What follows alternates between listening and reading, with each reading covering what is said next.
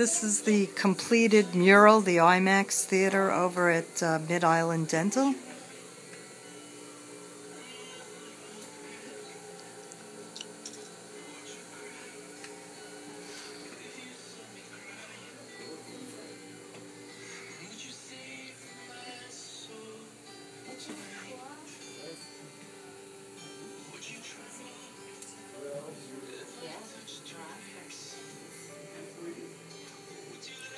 I pay extra attention to detail.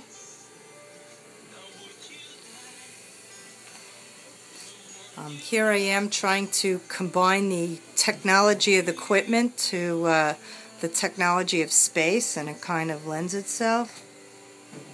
And um, showing here in an IMAX theater the history of aviation.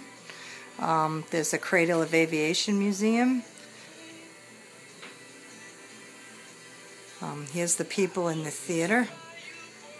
This is the 3D effect I'm trying to show. Oh, and there's the, uh, this is a historic merry-go-round called Nunley's Carousel.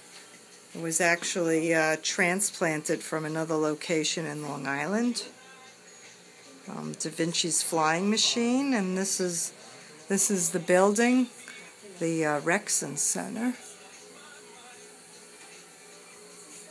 Uh, this is the space station Mir and an Earthrise, um, a Boeing 747.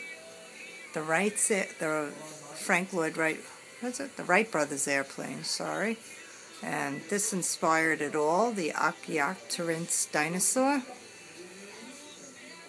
and Charles Lindbergh, of course, who took off at Mitchell Field, which is um, right there on site.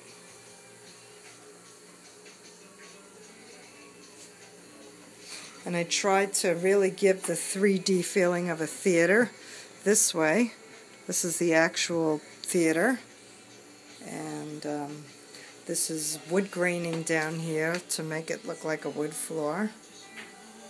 I don't know whether you could see it that well. Um, to enhance the 3D effect, I came around on the next wall. Um,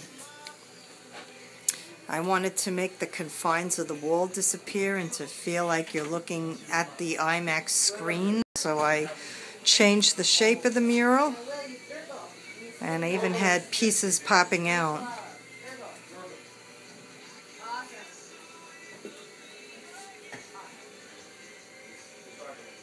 And here are the people.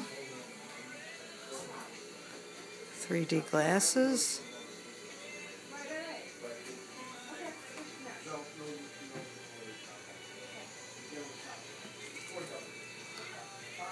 And this, uh, these are the Blue Angels. This is the squadron. The space shuttle Galileo.